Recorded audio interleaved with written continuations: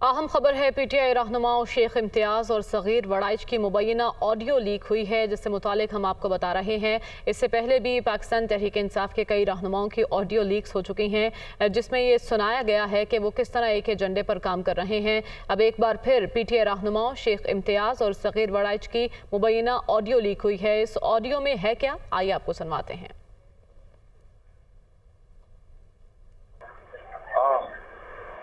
आगे। ਚਲੋ ਜੀ।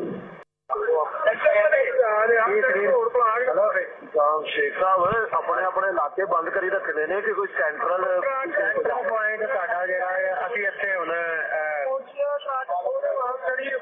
ਕੋਰ ਕਮਾਂਡਰ ਸਾਰੀ ਦੁਨੀਆ ਇਕੱਠੀ ਹੋਈ ਕੋਰ ਕਮਾਂਡਰ ਹਾਊਸ ਹਾਂ।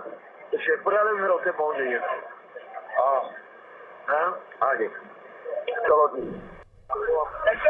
कोर कमांडर के घर को जिस तरह निशाना बनाया गया, इसकी प्लानिंग किस तरह से हुई, इससे मुतालिक एक ऑडियो लीक सामने आ गई है। पाकिस्तान तहरीक इंसाफ के रहनुमा शेख इम्तियाज़ और सग़ीर वड़ाइच इस हवाले से गुफ्तु कर रहे हैं। मुबैना ऑडियो लीक है क्या? आइए आपको एक बार फिर सुनाते हैं।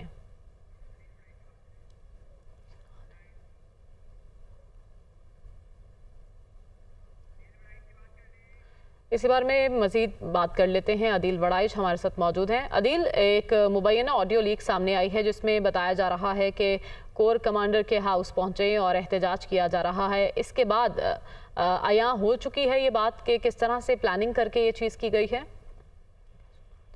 जी सिर्फ़ एक नहीं दो ऑडियो लीक्स आई हैं, जिसमें तारिक रहीम के साथ भी एक मुबैना गुफ्तु है, वो सामने आई है।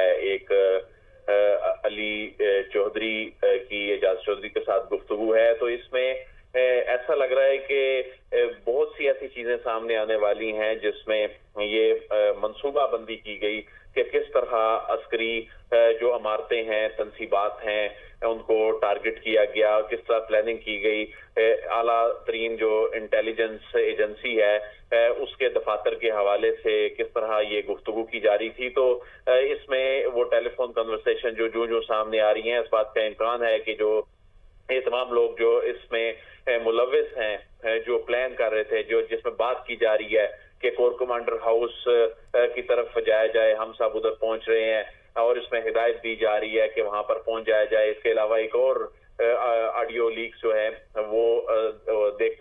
का मौका मिला सुना जो कि मीडिया पे इस वक्त सोशल मीडिया पे भी वायरल है उसमें ये कहा जा रहा है इसमें आईएसआई के हवाले से बात की जा रही है ऑफ़िस के हवाले से बात की जा रही है उसमें लोगों के जख्मी होने और मरने के हवाले से जो बातें हैं बेबुनियाद बातें वो की जा रही हैं तो इसमें ये जो ऑडियो लीक्स हैं अगरचे इससे पहले जो जो ऑडियो लीक्स जो सामने आई उसमें वो तो मुल्की सियासत से मुतलिक थी लेकिन हम्म। ये ऑडियो लीक्स उन हमला उन हमला करने वालों के जो मंसूबे हैं, उनको बेनकाब कर रही हैं कि ये इससे अपने आप को दूर किया जा रहा था, जो कि पाकिस्तान तहरीक इंसाफ की लीडरशिप कह रही थी कि हमारा इन चीज़ों से ताल्लुक नहीं है, ये कौन लोग हैं, इनको डिसऑन किया जा रहा था। लेकिन जो चीज़ें सामने आई हैं वो चीज़ें बता रही हैं कि जिसमें ये कहा जा रहा है कि इन इमारतों पे हमला किया जाए आर आरपीओ ऑफ़िस को बंद कर दिया जाए डीसी ऑफ़िस को बंद किया जाए जिसमें जो